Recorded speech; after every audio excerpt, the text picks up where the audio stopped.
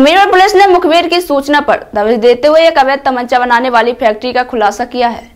इस कार्रवाई में दो आरोपियों को भी पुलिस ने गिरफ़्तार किया है।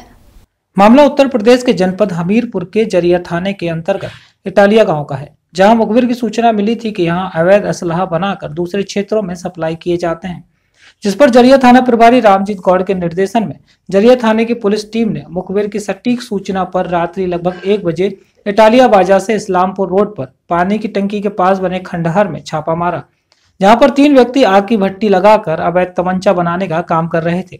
पुलिस ने पूरे खंडहर की घेराबंदी करके बदमाशों को घेर लिया, लेकिन एक बदमाश पुलिस को चकमा देकर भागने में सफल हो गया, जबकि दो को पकड़ने में पुलिस को सफलता मिल गई।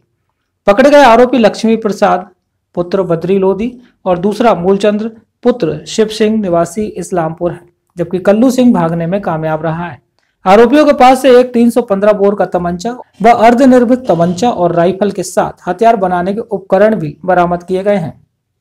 जब कहूँ जब कहूँ अच्छा बीच में आप बंद कर देते हैं फिर चालू कर देते हैं। जब को ज़रूरत तो इन सात आठ सालों के दौरान कभी पुलिस द्वारा पकड़े गए हैं? भाई एक बार पकड़ गए थे भाई ने पकड़वा अच्छा फिर भी आपने बंद नहीं किया है हाँ। बंद गया है? आज जो आप पकड़े गए हैं पुलिस द्वारा ज़रिया पुलिस द्वारा पकड़े गए हैं तो आपके पास कितने असलाह और क्या क्या उपकरण मिला है? एक एक बनी आज बनी जानी और एक है बाँस और पंखा निहाई और टूट फूट का मतलब सामान सब मिल गए रेत वगैरह। वही आज रात में इंस्पेक्टर साहब के गौड़ साहब निकले थे अपने हमारे आयोग साथ गश्त में। तो इटैलिया बाज़ार रोड से इस्लामपुर के रास्ते में पाई टंकी है। उसी पर खंडहर में कुछ इनको लगा कुछ लोग यहाँ मौजूद हैं।